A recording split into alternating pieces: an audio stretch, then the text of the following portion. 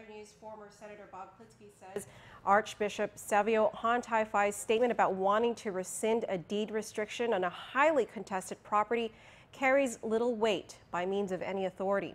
Archbishop Hon, the temporary administrator of the church, acknowledged for the first time yesterday that the Redemptoris Mater Seminary was conveyed and is no longer in control of the Archdiocese. Archbishop Savio Hon Tai-Fai, the apostolic administrator of the Archdiocese of Agana, released a statement yesterday announcing his intention to rescind and annul a deed restriction that conveys a multi-million dollar Yona property over to a third party. This deed restriction has been the subject of vigorous debate and dispute and has caused a rift within the Catholic community. Start out with the actual fact that Apuron gave that property to the RMS Corporation on November 22nd, 2011. There's no getting around that. But as courteous and genuine as Archbishop Hon's intentions might be, Klitzkie says his words are powerless. There's a part in there where he says, and the, the words, you know, uh, are, are very clear, that he intends to rescind and annul.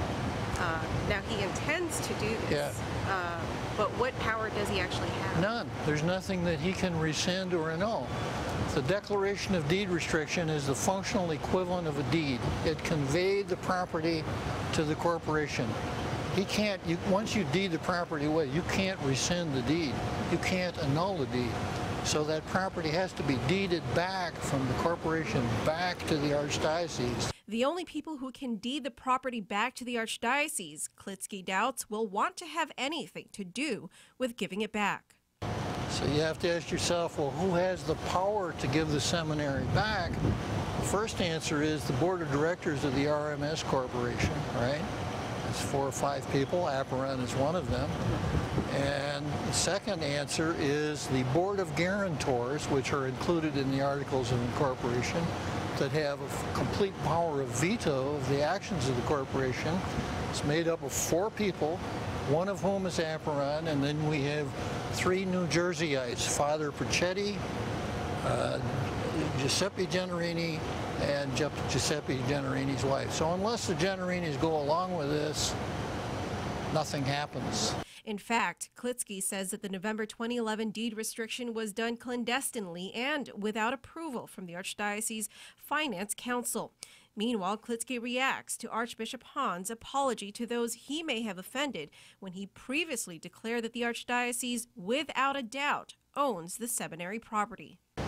But with his apology, though, uh, is that something you do accept uh, from him? Uh, well, I don't know if I if if apologies, hurt feelings, if those are the really important things. The really important thing is for that seminary property to come back to the Archdiocese. And if we're going to have a seminary, it has to be a diocesan seminary. By now, I think we've all had enough of the neo-catechumenal way and all the havoc that they've created here. And until that seminary becomes a diocesan seminary under the control of whoever the bishop is, it's not going to, it's not going to stop. You can read Archbishop Hon's statement online at pacificnewscenter.com.